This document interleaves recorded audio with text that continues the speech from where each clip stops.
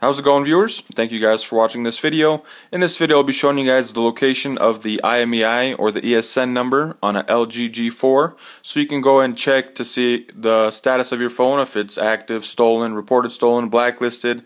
Um, I'd recommend you do this before you buy any kind of phone. Uh, check the IMEI to make sure that you're going to be able to use it and activate it online instead of buying a stolen phone that is not good for anything but maybe expensive MP3 player. Um, so what, the first thing you want to do if, is it if it came with the original box, I bought mine from the store.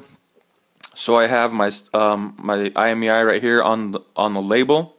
The IMEI is this top number, so I usually go to freeesncheck.com. It'll ask me for the carrier, Verizon, AT&T, T-Mobile, Sprint, that sort of thing. And it'll ask for this IMEI number, type it in, and it will give you the status of the phone.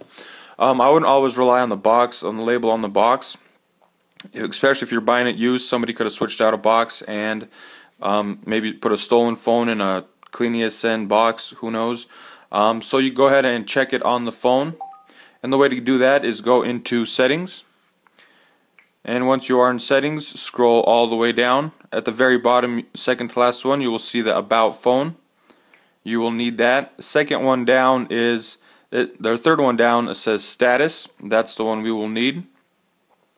And the second one down here is your IMEI. You can just go ahead and double check, verify with the box, you know, make sure it's the same one I did. This is the same one. Um, so that is where you find it. Um, there's one more place where I will show you guys, and that is on the back of the phone. So I'm going to go ahead and remove this back cover.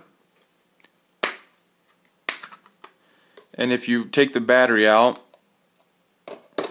the the IMEI number is right here in the very bottom before the barcode. So it is there too. But with this, um, parts are interchangeable. You can always take this back cover off, switch it with another phone. I mean, that's possible. Probably unlikely, but that's also possible. So those are three areas where you can find your IMEI number on a LG G4.